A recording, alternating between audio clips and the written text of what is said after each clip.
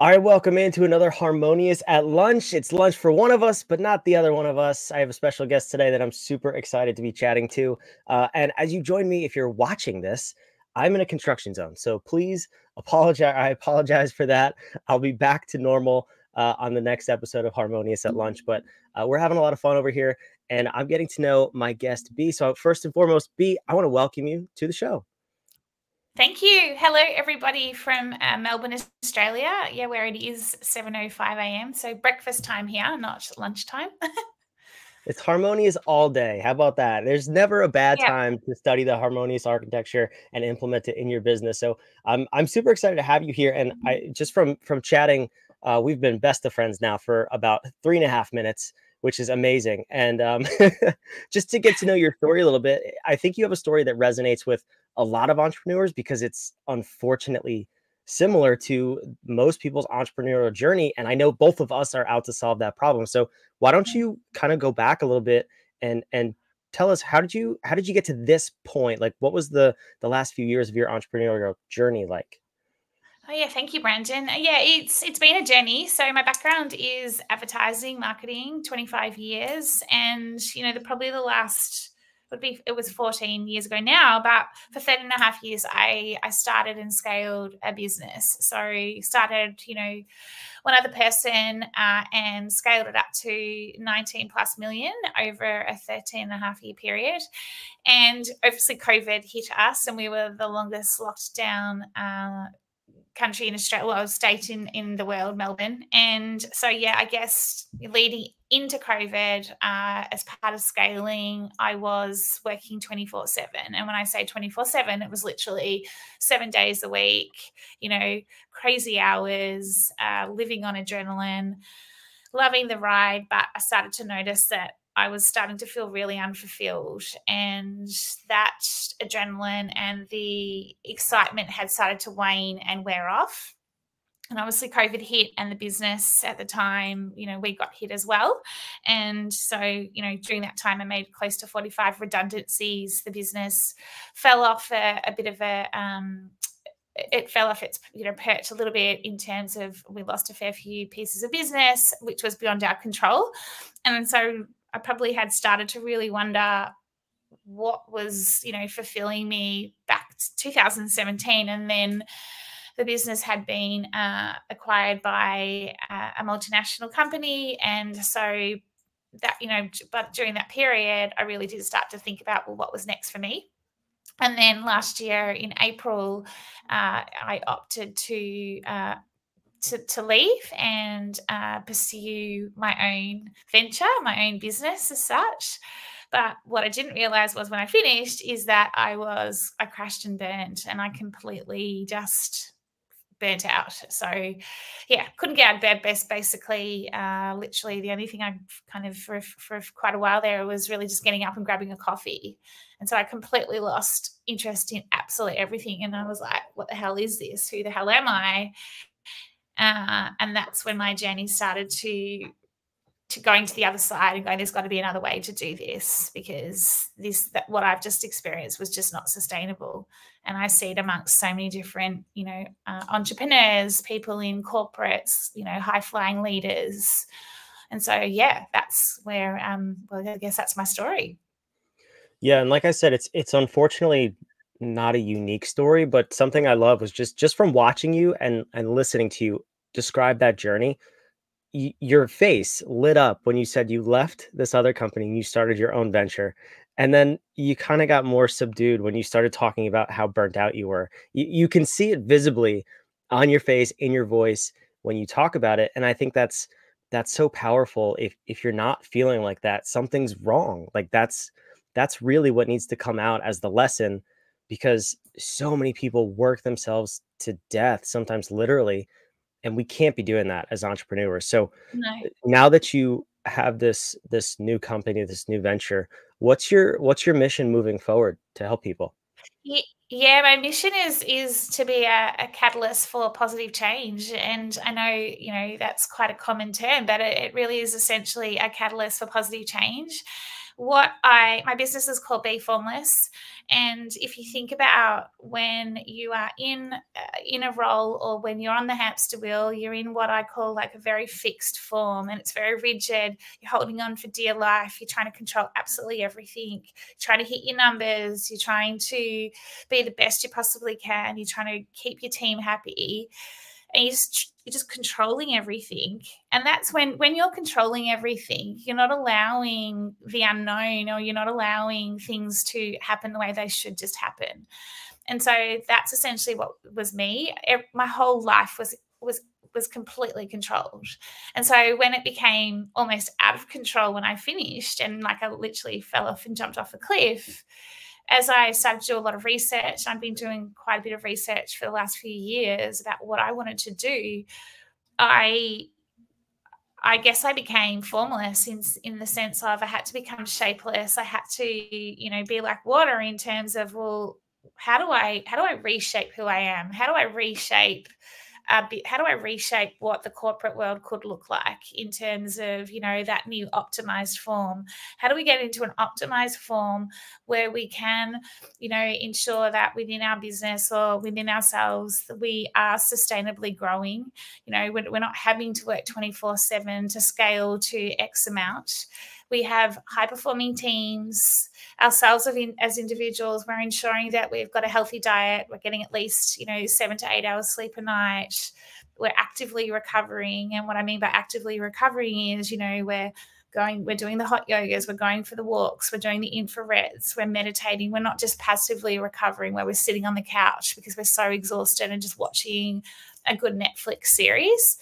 And so my business is really, you know, on a mission, and me personally is to to show people another way, to show businesses, teams, and individuals that there is another way to to be sustainable in business and life, and and you can and you can be fulfilled and like love everything that you do, but ensuring that you're not just working for no purpose and there's mm. meaning to what you do. Yeah, that's that's so key. And I, I asked you that question because for us, that's where we always start with people is is what's your mission? And I think a lot of a lot of people get that wrong in business where they start because they're either good at a process, uh, some sort of the fulfillment, or they want to make money. But at the end of the day, that's where burnout comes from. If is if you're not serving your mission, so that's the navigation portion of the harmonious architecture.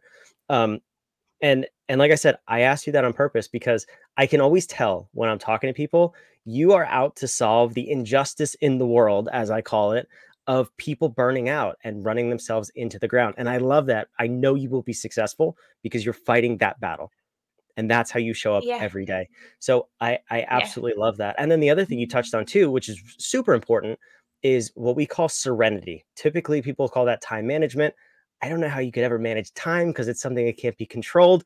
That's why we call it serenity. So it's managing your calendar and setting up your day for your personal success and optimization. If you're Elon Musk and you want to work 22 hours a day, more power to you. Most people can't.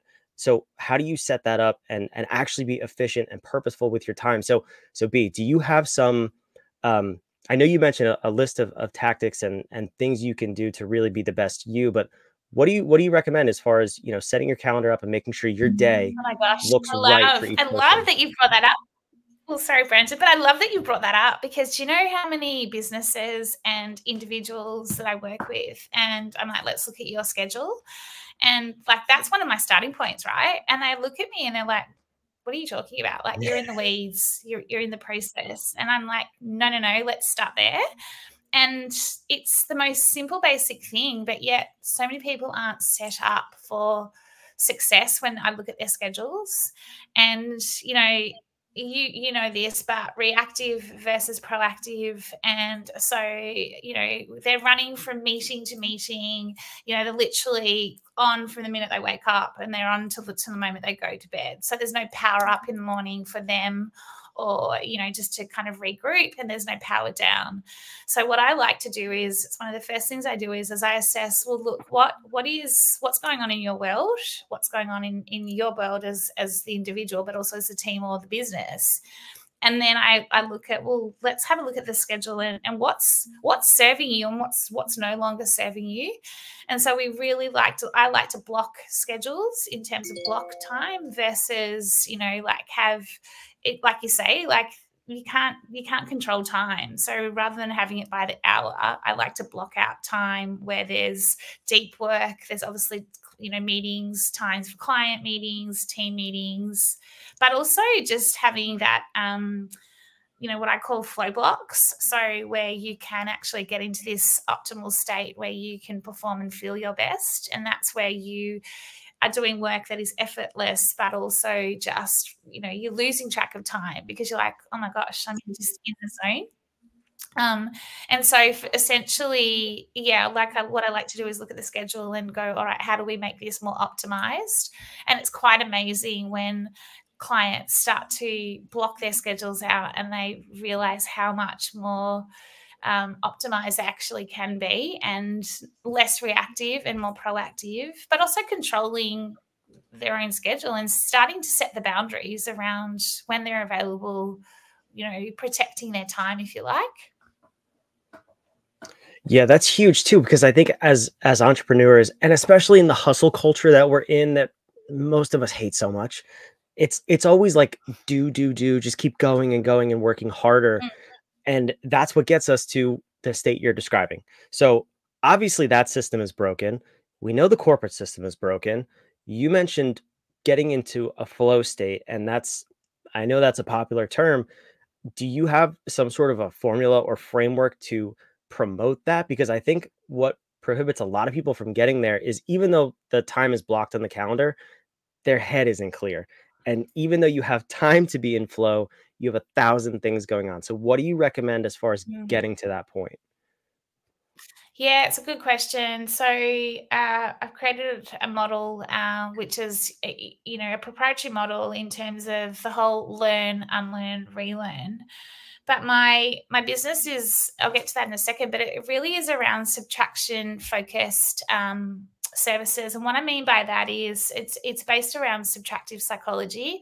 So we as individuals human beings we have we're i guess we're ingrained to continuously add to our brains when we're thinking about problems we need to solve. Uh, you know, anything we do, we have this tendency to, to add something so that because we think that's the way that we can answer it.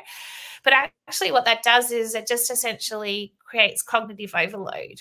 And so that's where we lose the clarity and I guess the space to be able to get, you know, think straight, uh, be able to get curious, to be able to get into this flow state. So what I like to do is I like to learn what's what's going on in in you know the individual, the business, or the team in terms of well, let's look at the processes, let's look at you know what is everything that you've got that is happening and what can we start to like subtract eliminate that we don't need any longer so that we can almost remove that cognitive overload to be able to then allow ourselves to have the clear focus to be able to then get into what is this flow state. Because if you're if you're in that mindset where you've got the cognitive overload you've got a fixed mindset where you're trying to control everything you're never ever going to get into a flow state so it's, for example, waking up in the morning, you know, we have this tendency to jump straight to our phones and, you know, check all our emails, check, you know, whether it's Teams, whatever messaging channel we've got. What if we just didn't? What if we just completely got up um, and started doing some, you know, getting into a flow state, whether it's you've got to write something or you've got something that you need to complete, but without going and checking all the technology and all the distractions and actually just throwing yourself straight into it. That's when you get into a flow state. You can't just get into it, you know, all the time. You've got to pick your moments, but also knowing when you're removing that that cognitive overload and being aware of it, being aware when you are overloaded and knowing, okay, what's going on here? What do I have to subtract, remove to allow me to have that clear space? Yeah, that's great. Or what if we get up first thing in the morning and talk to some crazy guy on the East Coast of the United States? I don't know. Maybe, maybe that is for you what well, you're yeah. doing right now. That's awesome. I, I love well, that. I feel like I'm, I mean, Yeah, I mean, I feel like I mean, to be honest, I feel like I'm in a flow state right now. I feel like we're having one because you know, like it's just flowing, right? We're just having this conversation, and that's what it's about. You know, you know, they, I've I've listened to podcasts, and I think it's Ultraspeaking.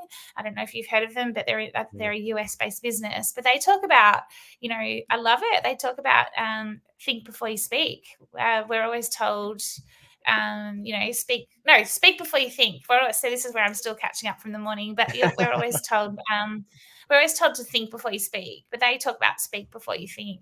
And that's even getting into flow, right? Rather than thinking about it, adding to the it's just giving it a go. Yeah, that's awesome. So B, I put your website on the screen here, beformless.com.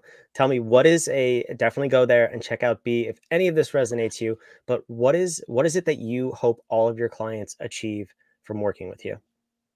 Yeah, so I, I I really hope that, and I really resonate with anyone who is feeling like they've lost their purpose or their meaning and they don't know where to look or where to go to. Or I really resonate with anyone who has has suffered burnout and lost their identity and working through well, what's next. Uh, so by working with me, what I will work with you on is getting you back to loving life again and loving what you do in terms of business, but also redefining how successful your business can be, but in a sustained way, in a sustained manner. And it's all through optimal performance. So yeah, essentially, you know, you'll you'll thrive, not just survive, uh, by working with me.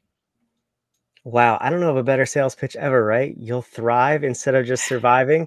Well, listen, if any of this resonated with you, go check out beformless.com. B has way cooler glasses than me, and she has an amazing smile when she talks about her new venture, which I'm so excited for. So I can't wait to follow you on this journey too.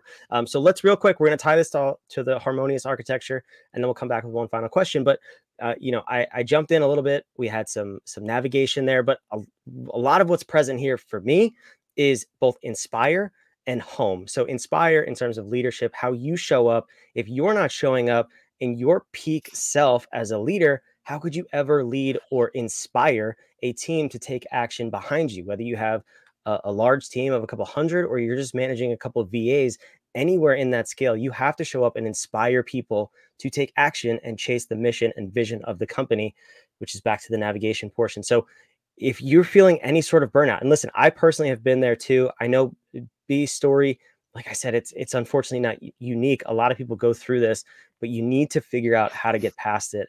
And this is a perfect person mm-hmm. to contact if you want to get to that next, next level.